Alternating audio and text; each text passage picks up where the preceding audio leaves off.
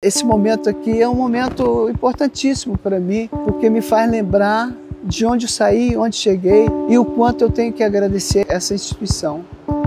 E eu tenho certeza que não só eu.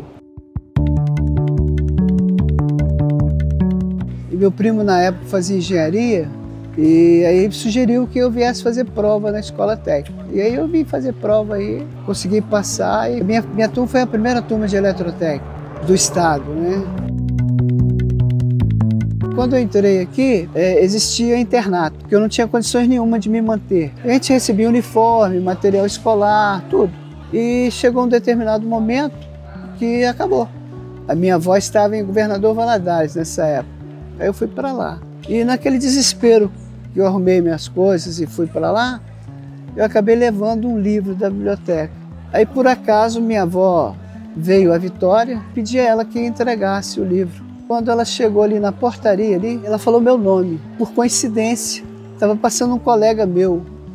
Aí eu tinha mandado uma cartinha também, uma carta dolorida para mim, muito dolorida. Sei que no final conseguiram ler a minha carta, terminou a aula, não tiveram mais aula naquele dia e conseguiram mandar me buscar. Deram um jeitinho de pagar uma república para mim.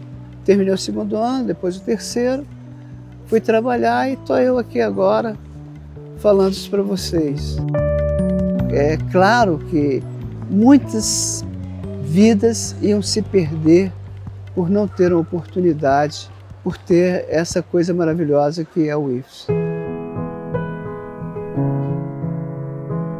E aí eu fui trabalhar na Vale do Rio Doce, tinha um mês mais ou menos que eu estava lá, aí me convidaram para vir dar aula aqui, aí eu achei que era um ambiente melhor, que era o que eu queria mesmo, e aí eu vim para cá para dar aula.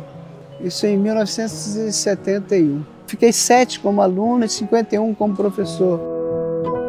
É, na Vale, é, em termos materiais, eu estava muito melhor. Mas existia um negócio chamado amor, né? Foi, foi o local que me transformou e quis dar a minha contribuição na instituição que me permitiu ser alguém na vida.